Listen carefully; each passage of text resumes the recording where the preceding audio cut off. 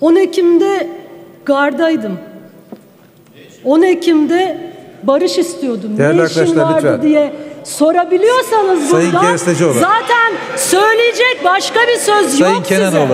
size. Söyleyecek başka bir söz yok size ama ben orada ölen arkadaşlarımız için burada konuşmaya devam edeceğim.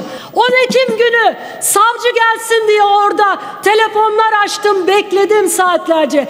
Bağırırım ben. Öldü insanlar. Kapatın kulaklarınızı. Zaten kapatıyorsunuz. Değerli arkadaşlar 10 lütfen. Günü Lütfen. emniyet görevlileri orada ölülerine Sayın Hatip'in konuşmasını engellemeyin. insanlara gaz sıktılar gaz. Bunu orada hepimiz gördük. İleri geri konuşuyoruz öyle mi?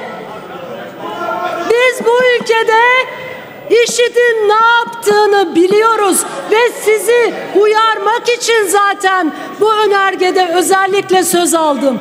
Bugün IŞİD aynı şeyleri yaparsa ne yapacaksınız diye.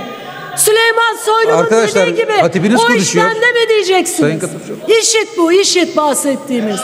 Avrupa ondan çok korkuyor. Biz hallederiz onu mu diyeceksiniz? Hiçbir şeyi halledemezsiniz. Hiçbir şeyi halledemezsiniz.